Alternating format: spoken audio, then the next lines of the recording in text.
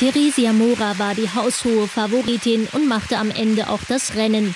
Die gebürtige Ungarin gewinnt den Deutschen Buchpreis 2013 mit ihrem Roman Das Ungeheuer. Also ich habe wirklich äh, mit mir selber ausgemacht, dass das sowieso nichts wird. Ähm, ja, und jetzt wurde es äh, was und ähm, jetzt müssen die Leute das lesen. Ist das nicht wundervoll? Theresia Mora knüpft mit ihrem Roman da an, wo ihr letztes Buch endete. Wieder steht der getriebene Darius Kopp im Mittelpunkt. Diesmal macht er sich auf den Weg nach Ungarn, in die Heimat seiner Frau, die sich kurz zuvor das Leben genommen hat. Ein Blick in ihr Tagebuch offenbart flüchtige Affären, Einsamkeit. Der Leser verfolgt diese düstere Innenschau parallel zu den Reiseschilderungen des Ehemannes.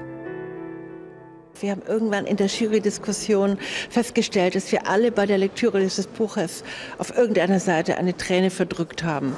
Ähm, das heißt, es ist wirklich ein emphatischer und zugleich künstlerisch sehr hoher Roman. Der nie ins kitschig-sentimentale abgleitet. Vielmehr seziert Theresia Mora mit einer glasklaren Sprache eine scheinbar idyllische Ehe. Damit ist ihr nun endgültig der Durchbruch gelungen.